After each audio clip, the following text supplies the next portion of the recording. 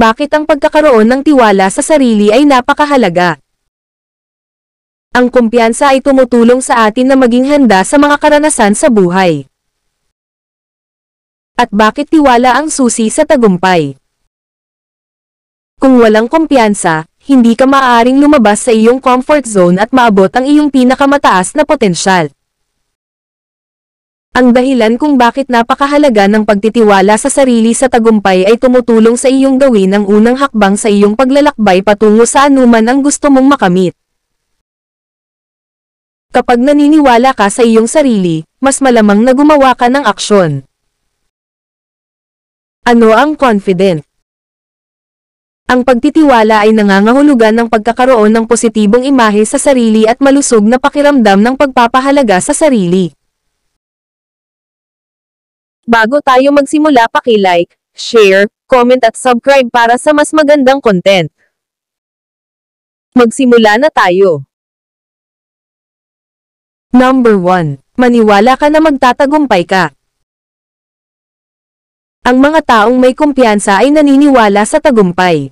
At higit sa lahat, naniniwala sila sa kanilang kakayahan. Number 2. Maayos ang iyong mga relasyon.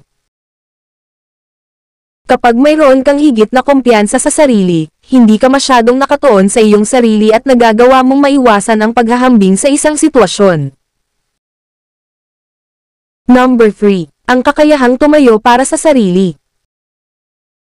Ang kumpiyansa ay nagpapahintulot sa iyo na tumayo para sa iyong sarili sa isang patas at pare-parehong paraan.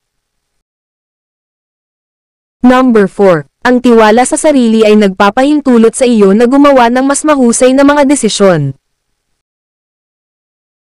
Ang paggawa ng mabubuting desisyon ay nangangahulugan na mas magiging masaya ka at mas kontento sa iyong buhay. Nangangahulugan din ito na makakamit mo bang iyong mga layunin at makukuha ang gusto mo. Number 5. Mag-set ng mga goals para sa iyong sarili. Ang panandaliang at pangmatagalang goals sa karera ay maaaring makaapekto sa paraan ng pag-unawa mo sa iyong lakas at tagumpay. Pag-aralan at mag-set ng mga goals para sa iyong sarili para gumaling sa isang pangkalahatang kakayahan o bagong kasanayan. Number 6. Tinutulungan ka ng confidence mo, makayanan ng takot at pagkabalisa. Ang isa sa mga pinakamahusay na paraan upang harapin ang takot ay ang tiwala sa sarili. Kapag mayroon kang buong tiwala sa kakayahan mo sapat na kumpiyansa at lakas ng loob, na mayroon na sumubok sa kabila ng takot na mabigo. Number 7. Maluwag sa kalooban na sumubok ng mga bagong bagay. Maraming tagumpay ang nagmumula sa lakas ng loob na sumubok ng bago o makipagsapalaran.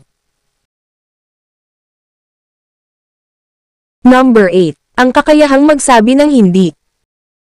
Ang mga taong may tiwala sa sarili ay may kakayahang humindi. Thank you for watching. Subscribe for more video.